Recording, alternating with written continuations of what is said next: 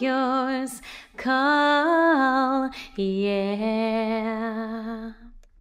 One happy birthday dot com.